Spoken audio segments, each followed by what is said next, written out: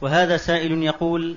حكمت لنا المحكمة, المحكمة في مصر بقطعة أرض بعدما حلفنا يمينا أمام القاضي بأننا لم نسمع آه، أن أبانا قد باعها في حياته حيث أننا سمعنا من بعض الأقارب أن أبانا قد باعها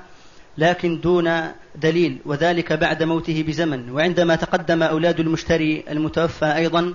حجة بشراء هذه الأرض من والدنا وجدنا أن فيها تاريخ البيع غير واضح وأن خاتم والدنا البائع غير واضح وأن الشاهد الوحيد هو أخي وكان عمره أنذاك 12 عاما والله أنا ما بحكم بالقضايا هذه قضية فيها نزاع راجعوا المحكمة فيها